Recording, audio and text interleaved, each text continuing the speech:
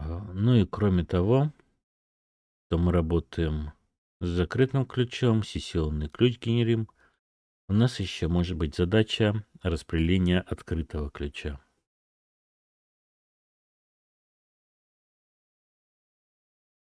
Ну, как мы знаем, у нас есть э, генерится закрытый и открытый ключ. А, открытый ключ мы можем передавать. А, но как мы можем а, быть уверенными, что это именно а, ключ того человека, а, на которого он указывает? Каким образом можно распределить ключи? Ну, Самый простой. А, Боб сайт заводит, на котором помещает свой ключ. Боб. Ключ. Оба. И э, Алиса скачивает сайта этот ключ себе и э, делает сообщение с помощью этого ключа. Вот. Таким вот образом все это работает.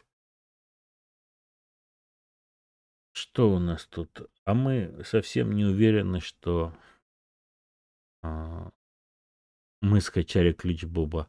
А, Ева может заблокировать сайт Боба и вообще поставить свой такой же сайт. И э, Алиса будет работать с документами, считая, что она подписана Бобом, а это все Ева подделывает. Не подходит такой простой способ, не очень хорош. А, другой способ. Давайте мы сделаем центр доверия. То есть некий открытый каталог, куда мы будем складывать ключи. Причем мы доверяем этому каталогу и э, можем проверить, что это этот каталог, что там все ключи, опять же, централизованы. А, мы им доверяем, оттуда скачиваем. Вот у нас такой центр доверия с каталогом всех ключей. А. Как мы можем улучшить просто вот этот каталог? Это сделать а, управляемый центр доверия.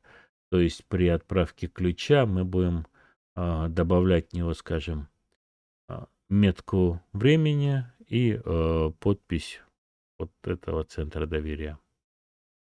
Метку времени, подпись. А, то есть Алиса говорит, что хочет получить ключ Боба, посылает сообщение, запрос посылает, и э, центр присылает открытый ключ Боба, добавляя метку времени, и э, это подписано ключом центра. Алиса знает ключ центра, прочитывает, все проверяет. Э, если все хорошо, то она получает ключ Боба. И уже с ним может работать.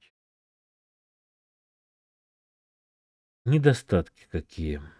А, плохо масштабируется данная а, технология, где подключается к одному. Бутылочное горло у нас возникает к одному серверу, получает туда информацию. А, что можно сделать? Следующий шаг э, – это создание сертификата.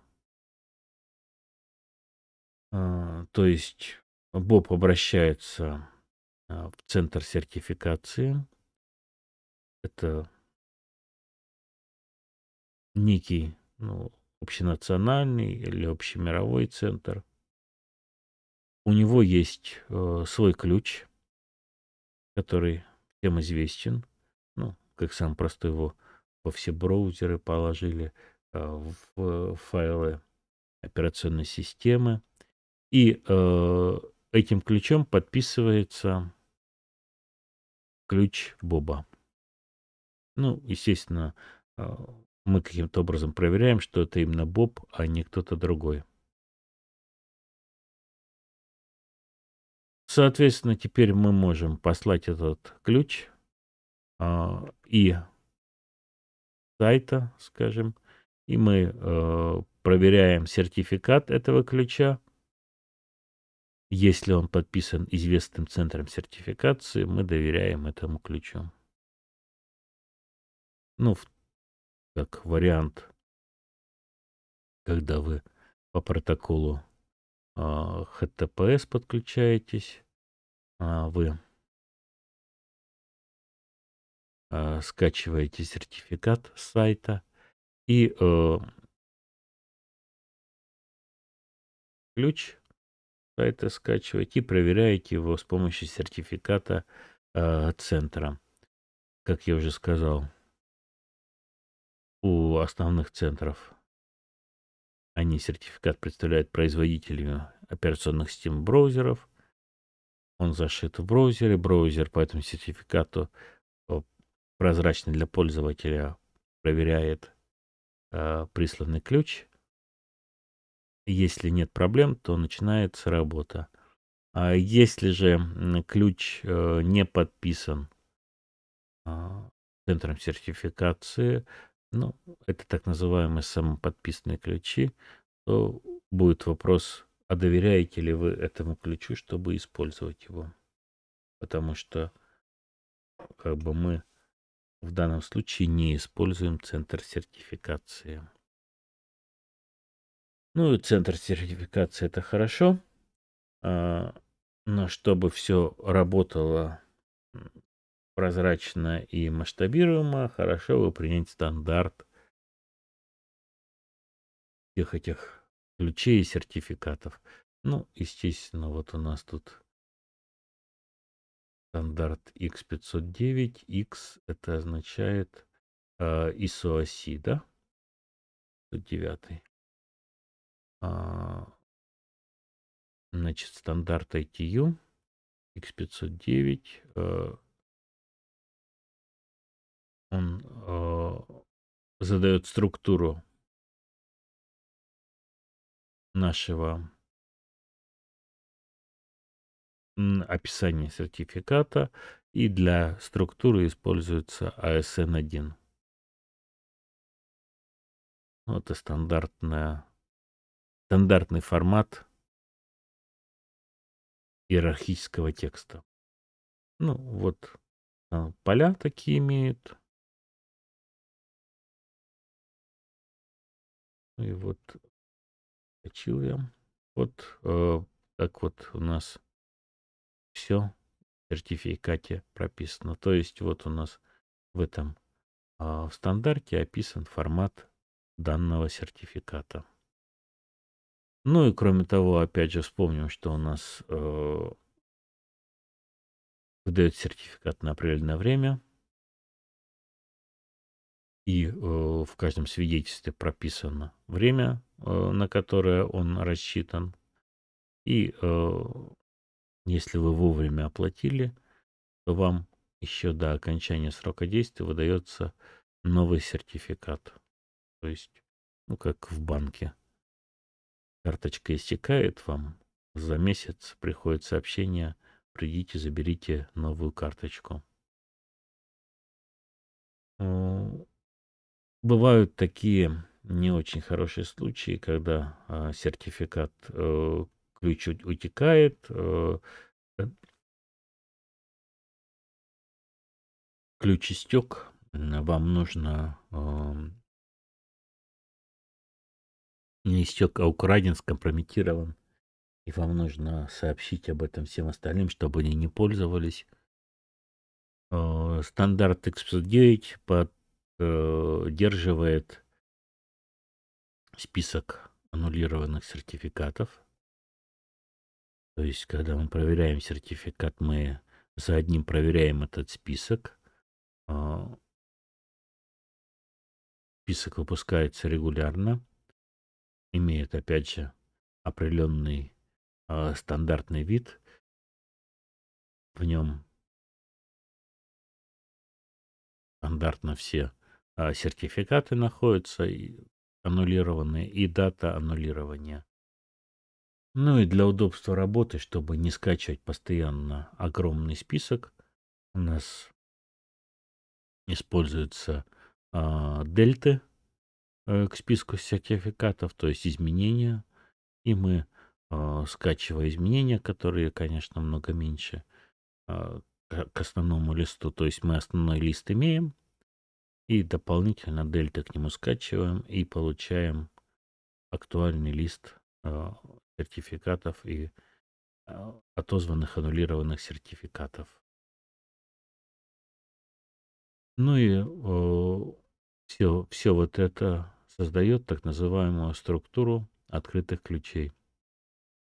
У нас есть несколько вариантов э, структуры открытых ключей. Ну, вот, например, X509. А, ну, здесь на каком стандарте. Э, PGP, например так далее. DNSSEC.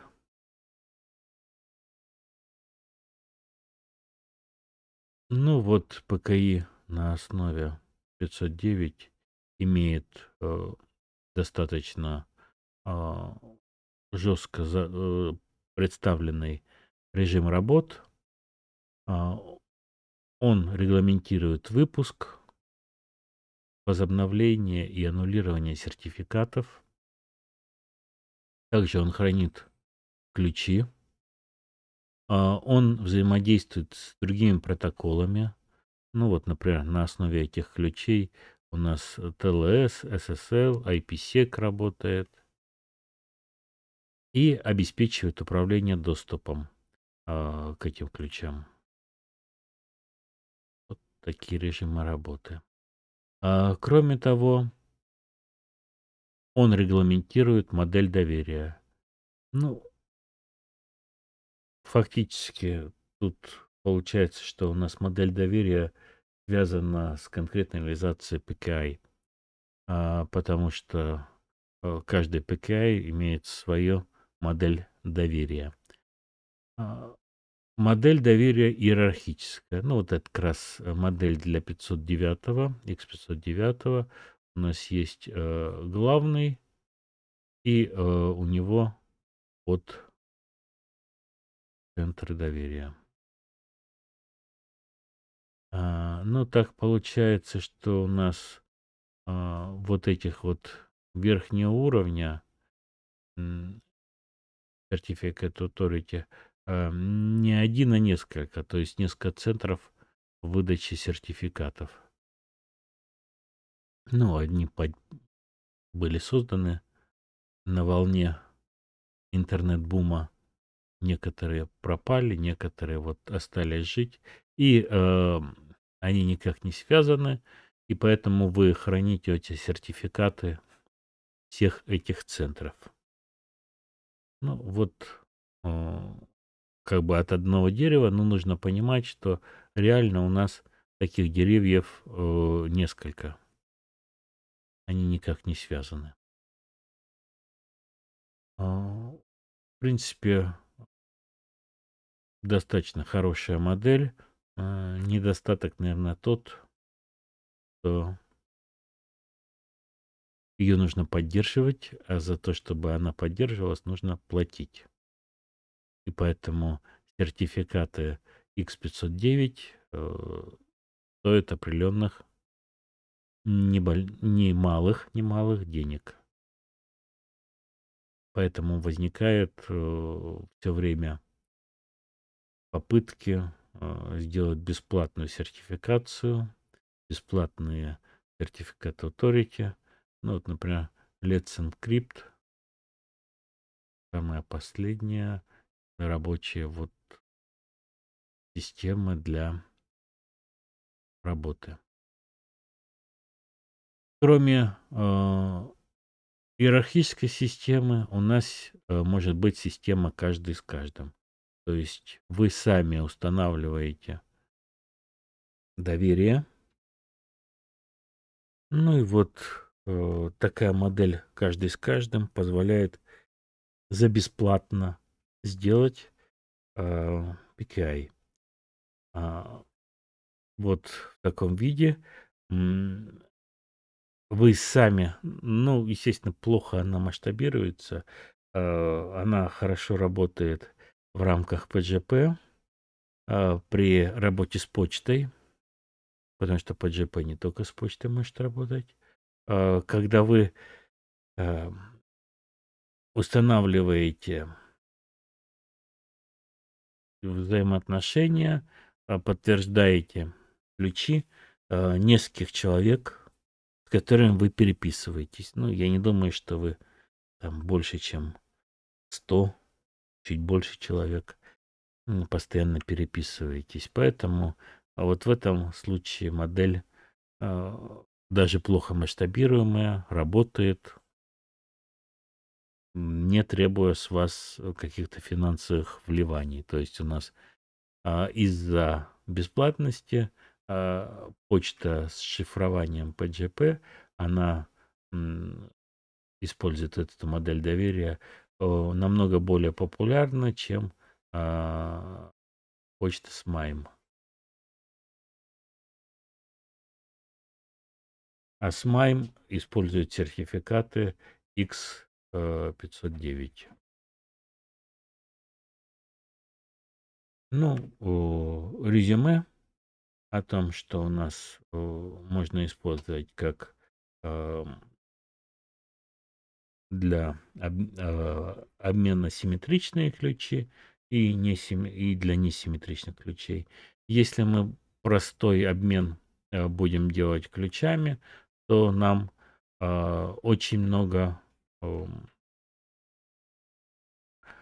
связей нужно сделать.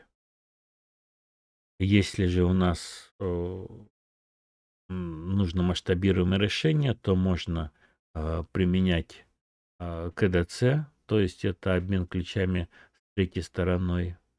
Э, можно применять подходы сеансовые без КДЦ. Это, это, это я, значит, КДЦ, э, несколько видов подходов КДЦ, например, Нитхема Шрёдера и Атвея Рииса, а, как самая популярная реализация, которая ассоциируется с КДЦ, это Керберас. А, у нас э, можно создавать ключи без КДЦ, взаимодействовать. Для этого есть протоколы типа Диффи-Хелмана. Ну, тут у нас э, про Diffie-Hellman как базовый протокол и его улучшение, например, протокол от станции к станции, который э, за счет сертификатов нечувствителен к атаке man in middle, только посередине. Ну и для э, того, чтобы распределять открытые ключи, используется а, сертификат Authority. Есть стандарт а, сертификат Authority X509. А, также под X509 создается ПКИ, то есть модель доверия. И есть несколько моделей доверия а, иерархическая, каждый с каждым, сеть доверия. И э, X509, например, использует иерархическую сеть. Ну, и тут у нас идут контрольные вопросы, на которые желательно, чтобы вы ответили.